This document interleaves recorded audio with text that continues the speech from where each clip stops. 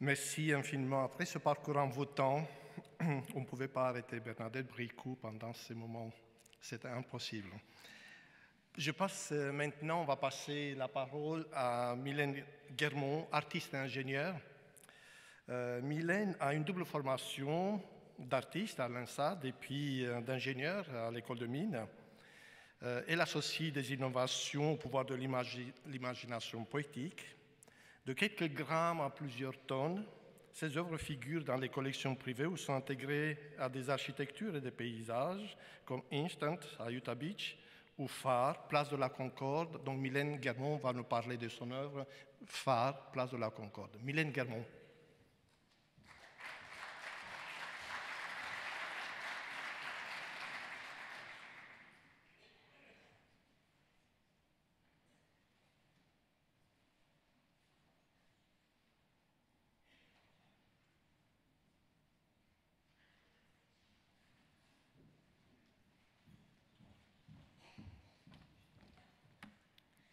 Mesdames, Messieurs, bonjour, merci d'être ici. Un grand merci à Costel Subran ainsi qu'à l'ensemble des organisateurs de l'année internationale de la lumière, Monsieur à Monsieur Durley. C'est grâce au label que vous nous avez donné pour l'année internationale de la lumière, dans le cadre du jury international, c'est grâce à ce label que nous avons eu, eu l'énergie de rassembler plus de 300 personnes, cinq ministères ainsi que la présidence de la République pour monter le projet phare que je vais vous présenter aujourd'hui. Jour particulier, nous parlons de clôture, je vais vous parler d'ouverture. Nous parlons de lumière, je vais commencer avec du béton, matériau opaque. Donc, je vais lancer le premier slide.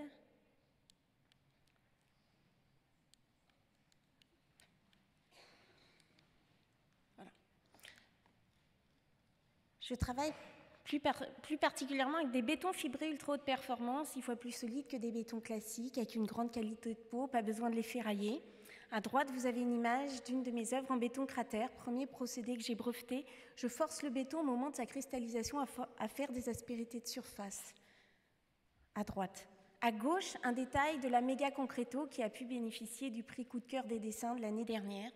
En fait, c'est la première estampe monumentale, elle fait 2,50 m de haut, qui a pu être réalisée grâce à une matrice en béton. J'ai rempli la pierre de la lithographie par une plaque de béton cratère. J'ai posé une feuille de papier, elle est passée sous presse et le béton n'a pas explosé car il est ultra haute performance et j'obtiens cette image à gauche de Méga Concreto qui est en ce moment exposée au musée de minéralogie.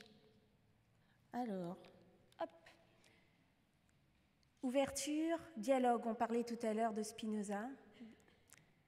Ici, c'est un dialogue avec les archives nationales où j'ai pu euh, avoir une exposition euh, personnelle il y a trois ans. Dialogue aussi avec l'extérieur, Instant, à Utah Beach, sur un site classé dans le prolongement du mur de l'Atlantique que vous voyez à droite. Près 00, on me demandait d'honorer euh, ces hommes qui sont venus se battre, voire mourir pour notre liberté. Comment les honorer sans tomber dans le pathos c'est la brèche 00 qu'a ouvert les Américains. J'ai donc pensé à Instant Photograph, le Polaroid que les Américains ont développé pendant la Seconde Guerre mondiale. Donc ces trois modules en béton ultra haute performance, juste 2 cm d'épaisseur, font référence au Polaroid, mais bien sûr à cette brèche. Et je pense que la guerre n'est pas une vision, mais plusieurs vues. Et à l'intérieur de ces Polaroids, comme s'ils ouvraient l'espace, vous avez des mains en gravure colorée, qui est un autre procédé que j'ai mis en place qui permet d'écrire sur le béton de vétérans comme Marvin Gilmore de, Boston, qui ont eux-mêmes débarqué ici il y a maintenant 71 ans.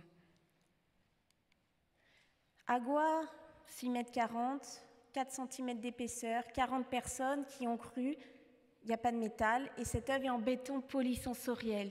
Donc en plus d'être ultra haute performance, en plus, quand vous l'effleurez, selon votre champ magnétique, l'œuvre peut émettre un son d'eau, Version plus petite, mini agua, encore plus fine, mais là la zone sensible se déplace dans le béton. Vous êtes obligé de vraiment effleurer l'ensemble de l'œuvre pour qu'elle réagisse avec vous.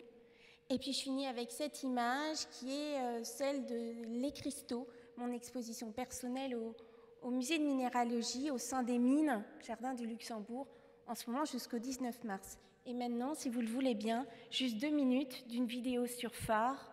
Donc on va baisser la lumière, lancer cette vidéo. Donc phare. Alors, hop, Phare, c'est une œuvre, si je continue, je vais y arriver, c'est automatique. De nuit.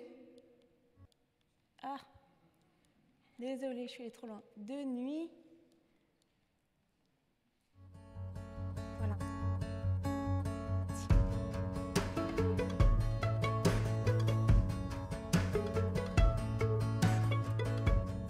Je m'appelle Mylène Garmon, je suis artiste et j'ai deux formations en art et en ingénierie. Je suis très heureuse de vous présenter aujourd'hui ma dernière œuvre, Phare.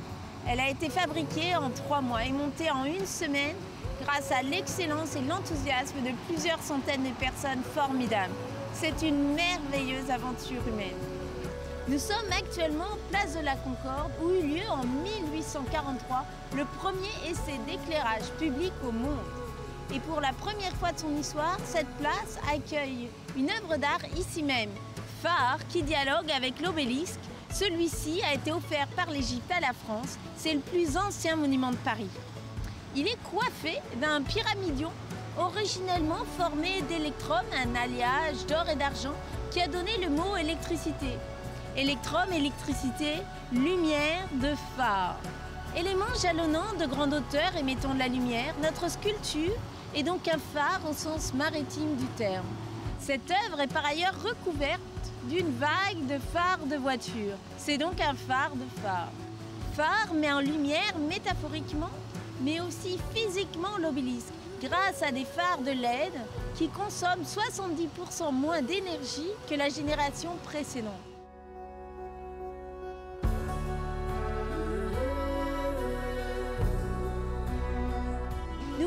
De construire, nous pouvons continuer de créer des œuvres d'art monumentales qui valorisent le patrimoine tout en étant hyper économes en matière et en énergie.